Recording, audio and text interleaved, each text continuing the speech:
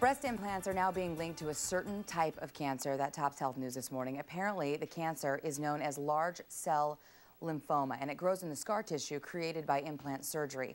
Now, researchers are saying the chances of getting this cancer are rare. In fact, of the millions of women who have received implants, just 60 cases have been reported. This morning, we have uh, Dr. Robert Kuske, the co-founder of Arizona Breast Cancer Specialists here in the Valley with us to talk more about it. Your phone was ringing off the hook yesterday. Yeah, pa patients are in a panic, and there are many, many women in Scottsdale and the Phoenix area with these silicone implants, and they're all wondering, what is my risk of getting this rare cancer? Well, you said one in three, and that is significantly high, are concerned about this because they do have silicone. Well, one in three of my patients have silicone implants, so it's mm -hmm. very common, and they don't call this Silicon Valley because of computer chips. There you go. They call it because of breast implants.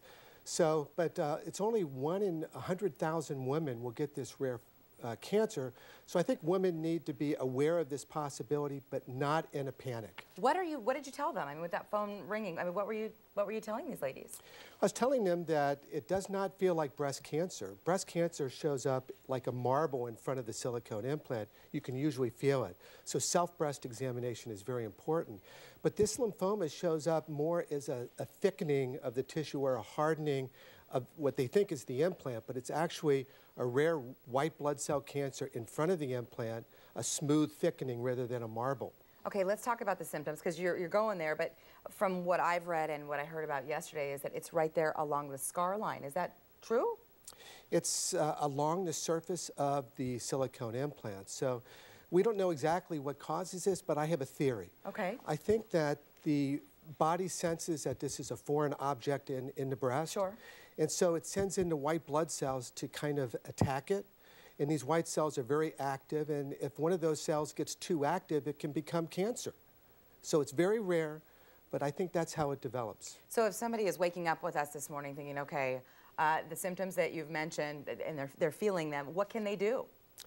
Well, they need to be forewarned and forearmed but not in a panic. And I think they need to do self-breast examination and not just forget about it a year from right. now, but realize that this is a rare possibility.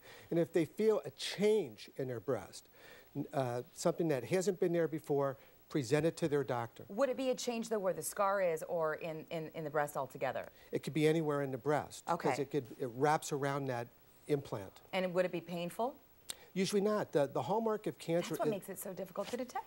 Yeah, the hallmark is a painless lump for breast cancer, and this is also a painless thickening of the breast. Okay, well, some great information. Thank you very much, Dr. Kuske. We appreciate your time You're this welcome. morning. Very much so. Tara, I can only imagine a, a, lot of people concerned about this, and yeah. rightfully so. But when you think about the numbers, again, he said one in 100,000 women and just 60 cases reported here. But again, be armed, not mm -hmm. panicked. Well, and it's no surprise his phone was ringing off the hook. Yeah, no Thanks. kidding.